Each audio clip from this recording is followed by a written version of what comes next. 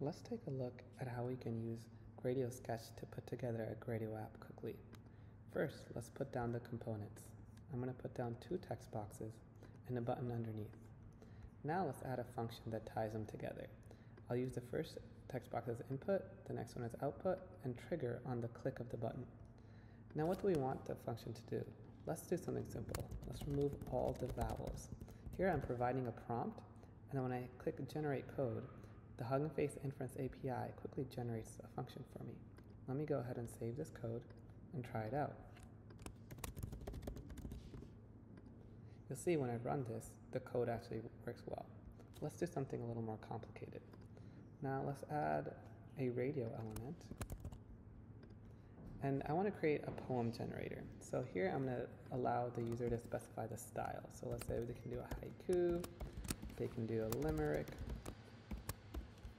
and here are our options. And let's make this output here a little bigger. So we have five lines of output. Now let's go ahead and edit our old function again. I'm going to add this element as an input as well. And then I'm going to change the prompt to be uh, generate a poem with the given prompt and style. Let's go ahead and generate code. and let's try it out. Let's save our code. Let's say a man flying. Let's make it a haiku and let's run it. There you go. So that's how you can use Gradio Sketch to quickly put together apps. You'll see on the right hand side we have an entire code for our app.